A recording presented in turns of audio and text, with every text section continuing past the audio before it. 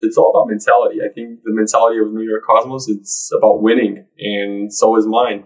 So I'm here to help. I know that the history of Cosmos had Pele and all the great players, Raul Gonzalez. So uh, I'm here to help, like I said, and hopefully we, we can achieve our goals. It's a very exciting uh, to be here and, and play for for the team. Actually, my first game professionally here was against New York Cosmos. To see for the first time Pedro Galvão. Now I think it's a, a good opportunity to play with the team and not against the team. Got a chance to play against them uh, in the NASL and uh, a very, very good player brings a lot of quality. He's played overseas, so he has a lot of experience. He's comfortable on the ball. He likes to get forward, and, and we expect a lot of wingbacks. You know, they, they, have to be good on the ball. They have to attack, and, and Pedro is exactly that. So I think he's going to give us a lot, and and, he, and more importantly, he's solid defensively. I think he's a, huge addition to the to the club and to the team, and.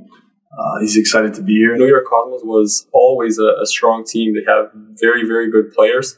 Um, and of course, every every player wants to play with uh, good players and, and, be part of a, a, successful team. Hopefully, I can help uh, the team with some assists and who knows some goals.